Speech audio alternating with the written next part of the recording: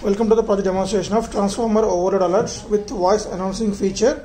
So here we are going to monitor the load on this transformer with the help of this current transformer.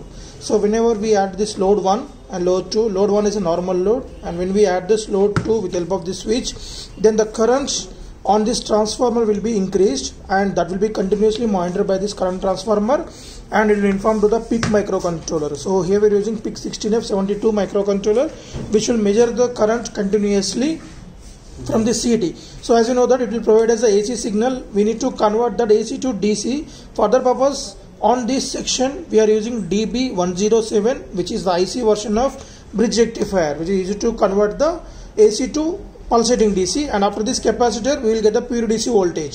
So the DC is input to our microcontroller at A0 pin. So when the load 1 is on so it will get some V1 voltage. And when load 2 is on the V1 will increases. That, uh, that increased value set as a threshold value. And whenever that increases and reaches a threshold value then the microcontroller will isolate the power supply to the load through this electromagnetic relay in order to protect the transformer from the overloading. And also we are going to provide the voice alerts from this APR 3383 that is uh, audio playback recorder. So voice alert will be from the speaker. So on this one we have stored uh, stored already means we have recorded the two voices. One is the welcome message and another one is the alert message. So these two voices will be triggered from the microcontroller based on the program.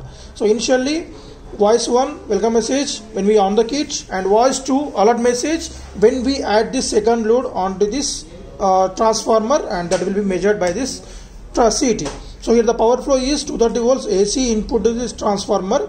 So the transformer will step down the 230 volts AC to 12 volts of AC as we are using the load of 12 volts DC load. So here that 12 volts the, uh, AC is converted to 12 volts DC with help of these four diodes. So they are acting as a bridge rectifier. So they will convert the 12 volts AC from the transformer to 12 volts DC that to be pulsating DC. So we need to remove the pulses so that we use the filter of the capacitor. So we'll uh, get the 12 volts constant DC voltage and output of this filter is input to the 7805 regulator as our operating voltage for the microcontroller and APR 3383 module is a 5 volt. So for that purpose we need to regulate that 12 volts DC to 5 volts DC. The output is to the microcontroller. So when it get the 5 volts it start reading input from the current transformer section. So as the current transformer is connected in series with the load through this electromagnetic relay. So here we are using this as a switch.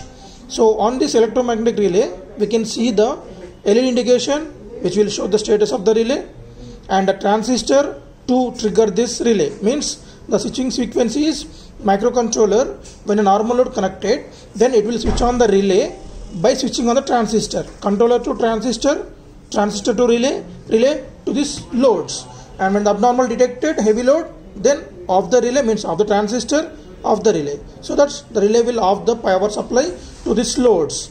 So it will be secured uh, we are going to protect the transformer and also voice alerts will be announced. So let us see the demonstration. Welcome to the project. Transformer Overload so keep the switch switch to the upside. So as we off this external load. So normal condition only welcome message announced so everything is normal only so when we iron this on this load Overload, please check. at the same time within the seconds only Overload, please check. the relay will get switched off and the voice announcement will be continuously announced till we should check manually the load status and reset the microcontroller Welcome to the project Transformer Overload Alert with voice announcement. Right. Whenever the overload occurred, we should check manually and then reset the microcontroller. So then it will check the again uh, the status of the load and it will on the relay. Overload, please check. Overload, please check. of the switch means check the status of the load Overload, please. reset the system so this is a reset the microcontroller Project Transformer Overload Alert with voice announcing feature. right it's normal now Overload, please check.